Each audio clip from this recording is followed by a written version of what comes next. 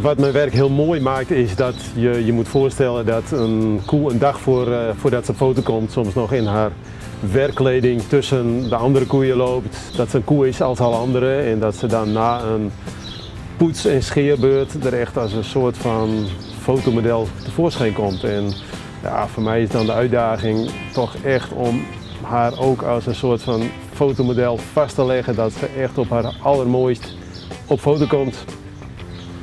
Mijn fototeam bestaat uit minimaal vijf mensen. Zet rechts voor me net iets naar binnen, want hij staat er half op. Ja, dat is te veel. Je moet wel op een rand blijven hoor, want anders komt hij te nauw te staan van voren. Uh, Betty, twee vooruit. Twee centimeter vooruit.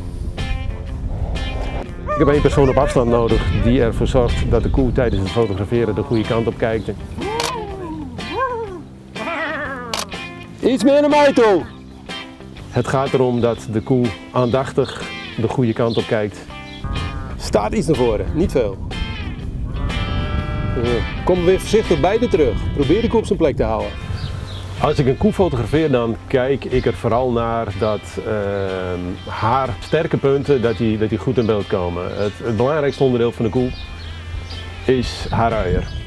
Als ik een koe plaats voor de foto, dan is het voor mij al heel belangrijk, de ophangband en het achteruier bijvoorbeeld, dat dat goed in beeld komt. Alles bij mijn fotograferen is erop gericht dat de functionele kenmerken, de belangrijke kenmerken van de koe, dat die op een goede manier zichtbaar zijn. Ik beschouw mezelf als reclamefotograaf voor koeien en dat houdt ook in dat het beeld wat ik aan mijn klanten lever, dat dat zo optimaal mogelijk moet zijn. En dat houdt in dat uiteraard uh, kleurbewerking van de foto plaatsvindt, dat soms de achtergrond aangepast wordt. En we moeten blijkbaar de volgende keer nog meer poetsen, want dat losse haar blijft er maar overheen komen. Kijk, nu wordt ze beter. Nou, de neus niet naar voren, Vincent, maar niet veel. De rug nog een keer. Het zit niet in zijn bouw. Staat iets naar voren, staat iets naar voren, kop is rechter. Hij draait te veel opzij. Staat iets naar voren nog, centimeter. Ik heb er nog steeds heel veel plezier in.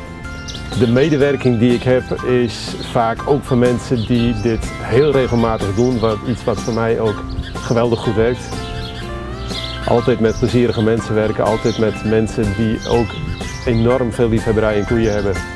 Nogmaals, met heel veel plezier.